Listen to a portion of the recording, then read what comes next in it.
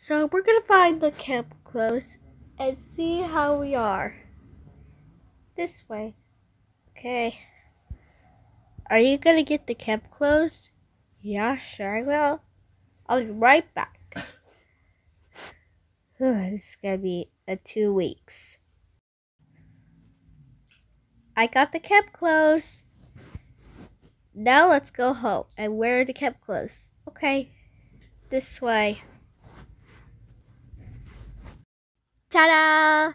This is my camping clothes. Now I'm gonna wear it. Here we go. What do you think? Cool. This is pretty so much. Yeah.